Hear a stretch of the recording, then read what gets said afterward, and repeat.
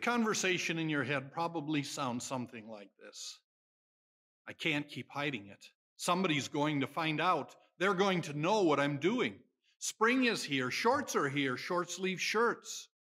Somebody's going to see that I've been cutting to try to deal with the anxiety and the pain. The drug use, I can't keep hiding it. It seems to be controlling me, taking more and more of my life. Somebody's going to find out that I'm not perfect. If they just look at my phone or my computer, if somebody stumbles upon all the porn I've been watching, they will know and they will know how much of a sinner I am. Well, dear saints, there's good news in that conversation going on in your head.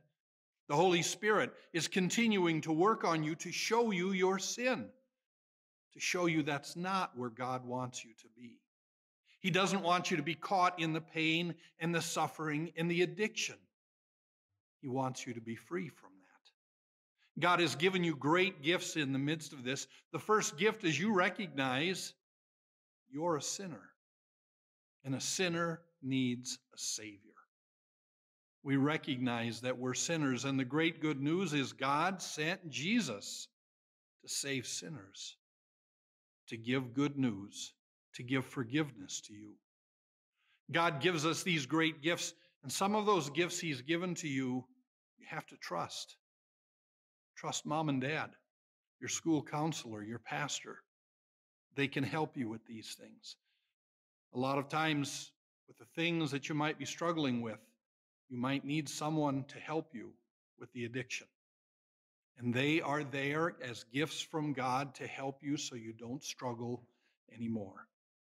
But the greatest gift, the gift that eases our conscience and our burdens, is Jesus. It's the forgiveness of sins through the cross. Listen to what the psalmist writes. O Lord, you have searched me and you know me. You know when I sit down and when I rise, you discern my thoughts from afar. You see, you're really good right now at hiding your sin, holding it in, trying to control it, trying to be perfect. You might have hidden it from most people, but you haven't hidden it from God. He knows you. He knows every sin that you're struggling with. He knows your addictions already. And He wants you to be free from that. He wants to help you.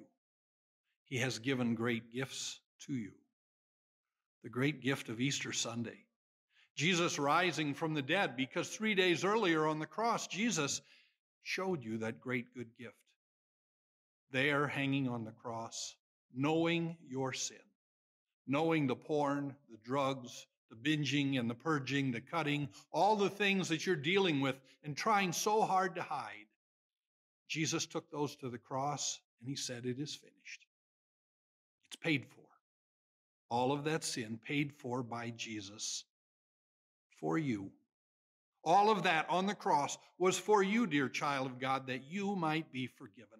There are gifts confession, absolution, your pastor, and all of those people waiting to help you. Good news, good gifts for you. Did we do good? Is that is that okay? If if you liked that, hit the button that says that you like that. Maybe even subscribe to see more of these. Even give, help us fund this mission of making known the gifts of Christ Jesus to youth and young adults. If you like this video, check out our website, higherthings.org, and check out more content from Higher Things.